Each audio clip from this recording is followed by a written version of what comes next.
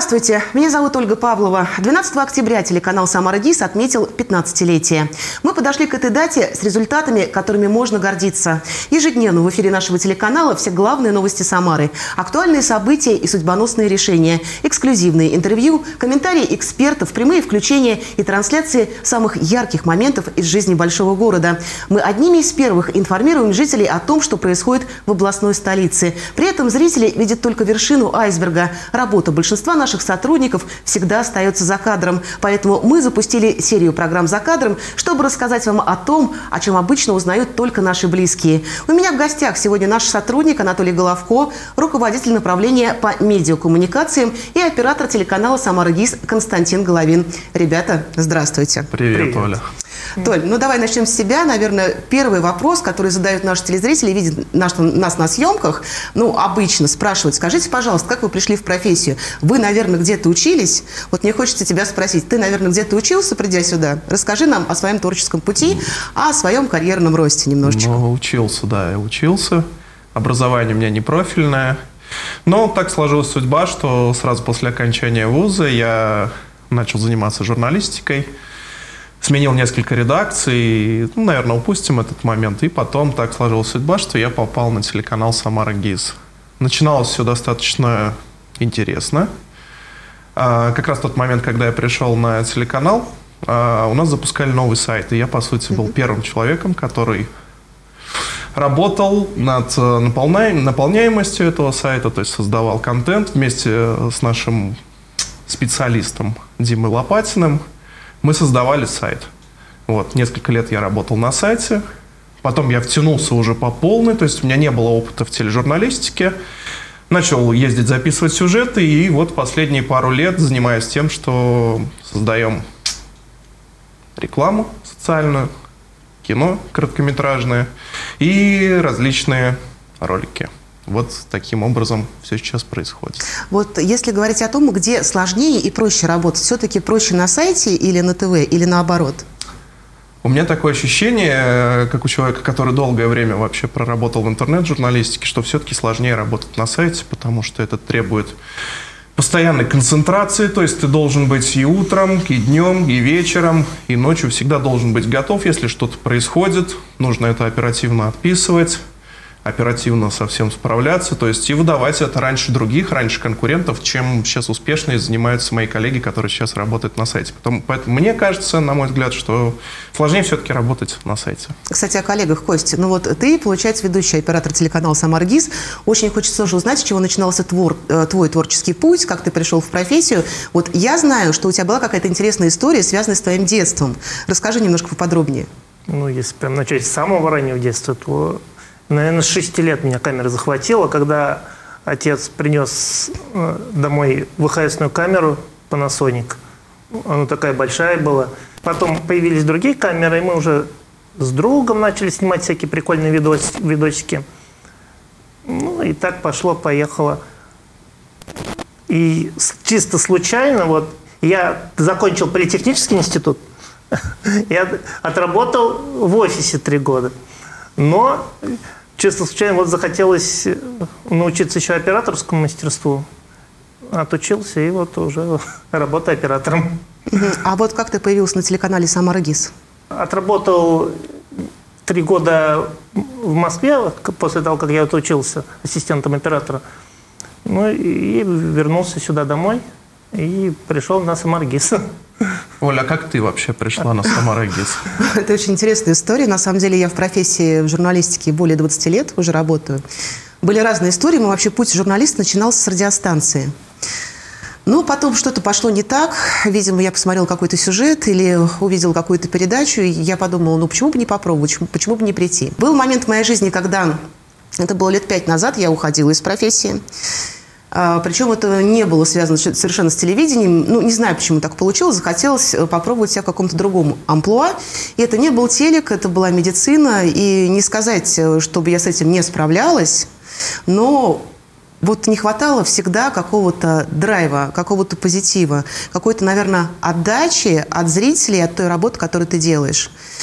И спустя время я вернулась обратно в тележурналистику, о чем я не жалею. И, собственно, на телеканале ГИС я работаю уже три года, и мне все нравится. Сейчас вот. драйва хватает? Сейчас здравия больше, чем достаточно, я могу так сказать. Толя, а давай поговорим, вот все равно телезрителям интересно вот э, не только наш карьерный какой-то рост, наши взлеты и падения, интересно вот э, как мы проводим свободное время, кто же такой тележурналист за кадром, вот есть какие-то у тебя увлечения, вот помимо там написания сюжетов, заметок на сайт, э, трансляции матчей и так далее, чем ты увлекаешься в жизни, какое твое хобби? Ну, скажем так, что полтора года назад я выглядел несколько иначе. Так, еще. поподробнее это как? Да. В общем, примерно полтора года назад а, мне предложили как раз вести передачу «Время спорта», которая у нас сейчас идет на телеканале в эфире. Периодически два раза в месяц выходит. И в тот момент я задумался о том, что стоит немножко сбросить вес, немножко похудеть, потому что на тот момент я весил около 150 килограммов. И это было, конечно, такое зрелище не очень приятное. Вот. И с тех пор я начал заниматься спортом и занимаюсь этим, в общем-то, уже полтора года, наверное, на любительском уровне. Занимаюсь бегом в основном.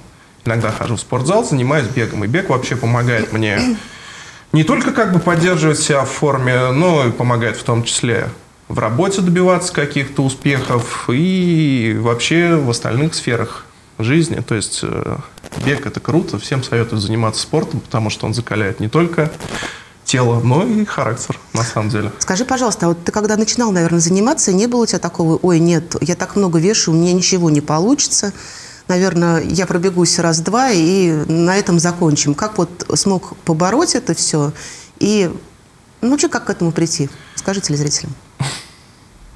Ну, мы сидели, отдыхали у друзей, а, вот. И в какой-то момент мне просто пришла в голову идея, что можно пройтись пешочком до дома. Расстояние было достаточно большим. Вот я прошелся и подумал, что пора мне начинать ходить. То есть все начиналось с ходьбы, на самом деле, потому что с большим весом бегать – это достаточно опасно для здоровья, можно получить какую-нибудь травму, и вообще сердце может не выдержать. Я начал ходить, Сперва по 2, по 3 километра, потом по 5 километров, вес начал снижаться. Потом я начал ходить по 15, по 20 километров и понял, что в какой-то момент я уже готов немножко побегать, скажем так, потому что мне стало легче, у меня ушла нагрузка на суставы. Ну, начал бегать с 4 километров, по-моему, и потом постепенно увеличил дистанцию, и сейчас вот ну, по 15 километров иногда удается, скажем так, преодолеть, когда организм чувствует себя хорошо. Слушай, ну, то есть все, к всему, ко всему нужно подходить с умом, естественно, не бросаться сразу в омут с головой и постепенно, то есть увеличивать нагрузку, и обязательно нужно слушать свой организм. Ну, то есть это такая своеобразная привычка, да, которая тоже вырабатывается, и потом ты уже без этого не можешь, правильно Это как какая-нибудь вредная привычка, только эта привычка вот стала в какой-то момент полезной. полезной да.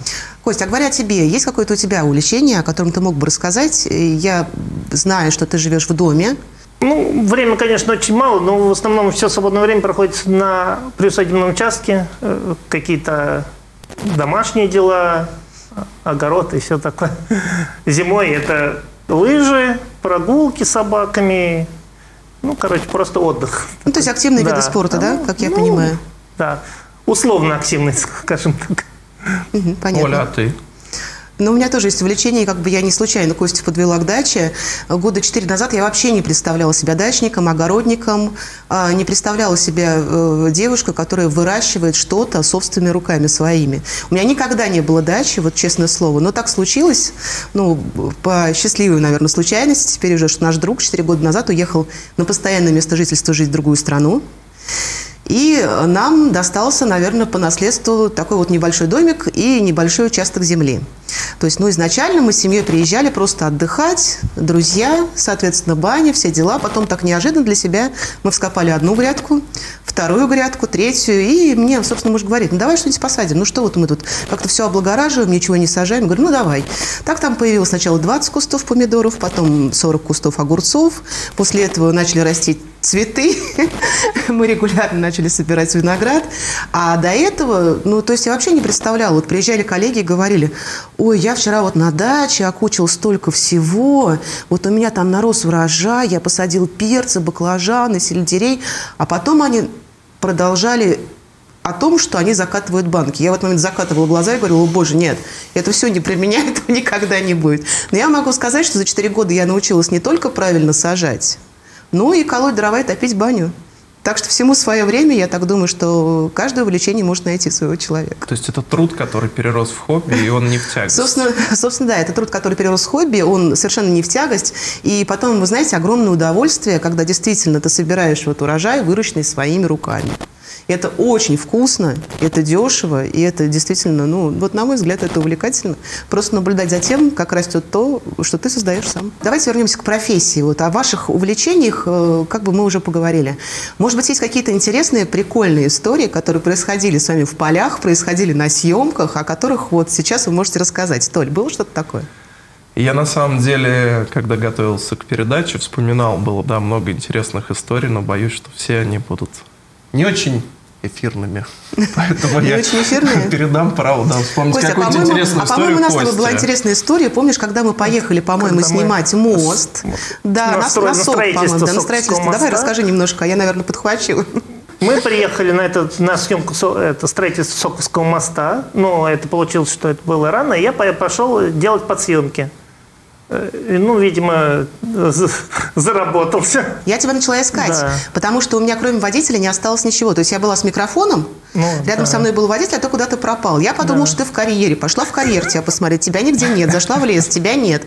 Потом, э, соответственно, приехали, приехали сопровождающие ну, так называемые mm-hmm. спикеры, у которых мы должны были брать интервью. И водитель, просто не увидев, что в машине никого нет, ни журналиста, ни оператора, поехал за кортежем. То есть ситуация такая. Я стою одна в лесу, с микрофоном, вокруг нет никого. Я думаю, боже мой, что же делать? То есть пешком пойти нереально. То есть справа лес, прям трасса. Слава богу, там на, по счастливым стечению обстоятельств оказался рядом э, со мной мой коллега, э, журналист одного сетевого издания, который любезно согласился вот а меня телефон подвести. телефон у меня, по-моему, разрядился или что-то. А телефон ты оставил да. на телекомпании, поэтому я не смогла до тебя дозвониться. Вот, вот такая да. была история. Думаю, почему связи-то не было. Вот, ну, да. Хорошо, что это история такое, со счастливым да. концом. Это да. Ребята, давайте, наверное, вот каждому из вас вопрос. Вот что больше всего вам нравится в нашей телекомпании и почему вы все-таки находитесь на ГИСе? Почему вы здесь? Ну, тут коротко ответить, наверное, не получится. Я вообще, на самом деле, когда приходил, думал, что задержусь здесь всего на пару месяцев, но ребята, с которыми я начал общаться, они мне сказали, что с ГИСа просто так никто не уходит, и ты, мол, не зарекайся. Действительно, я работаю уже пятый год. Сложно сразу сказать. Наверное, если сравнивать с другими редакциями, в первую очередь а, здесь а, очень хорошие отношения у руководителей к рядовым сотрудникам, к подчиненным. То есть и в этом плане достаточно приятно работать, когда ты получаешь не только кнут, но и пряник. То есть э, различные похвалы, то есть люди следят за твоими успехами, вместе с тобой радуются, вместе все переживают какие-то неудачи и действительно помогают тебе преодолеть какие-то сложные моменты и вырасти над собой и достичь каких-то новых результатов. Ну, конечно, те люди, с которыми я работаю непосредственно, это большие профессионалы, достаточно отзывчивые все, каждый э, четко знает, что нужно делать, э, и в этом плане работать очень просто. То есть, если даже чего-то ты не знаешь, что-то ты делаешь первый раз, люди, вот в том числе операторы, всегда тебе подскажут, э, всегда подскажут, в общем, правильный путь. Вот у меня такая Костя, позиция. а почему ты на ГИСе тоже? Расскажи. Не, ну вообще это интересно, потому что ты бываешь на разных интересных мероприятиях, встречаешься с людьми, ну, узнаешь что-то новое, общение, общение интересно. Ну, уже как бы, уже ГИС как второй дом. Поля, у тебя помимо драйва что еще? Ну, помимо драйва, это, конечно, мои любимые коллеги, которые я бесконечно рада видеть. Э, каждый день мы все сработались. Некоторых я уже знаю не, не первый год, то есть с некоторыми была знакома до ГИСа. И, конечно, вот менять тепло, уют Э, комфорт, э, прекрасное отношение руководства на что-то другое, мне на сегодняшний день не хочется. И я очень надеюсь, что, в общем-то, я проработаю на ГИС еще не один год. Что же, наше эфирное время подходит к концу. Сегодня вместе со мной в студии были руководитель направления по медиакоммуникациям Анатолий Головко и оператор телеканала «Самара ГИС» Константин Головин. Это была программа «За кадром». До встречи.